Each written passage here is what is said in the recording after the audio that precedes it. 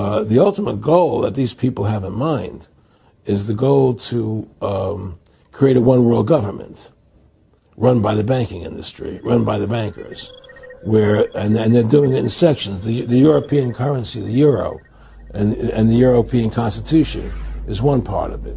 Now they're trying to do it in America with the North American Union, right? And they want to create a new currency called the Amero, right?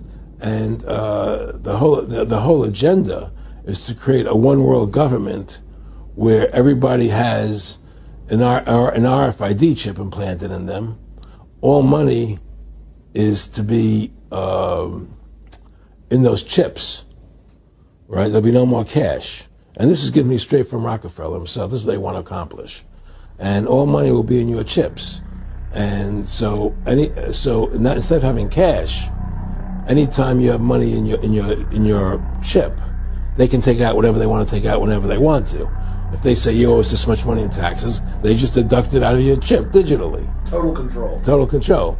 And if you're like me or you, and you're protesting what they're doing, they can just turn off your chip, and you have nothing.